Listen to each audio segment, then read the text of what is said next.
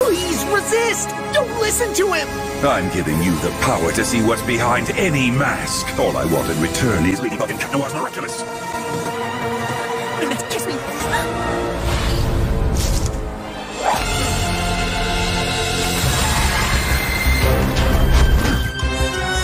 Sorry, I shouldn't have kissed you again, but you weren't listening to me. I was just trying to help you, to save you. That wasn't a love kiss, it was, uh, just making it worse. I was almost traumatized.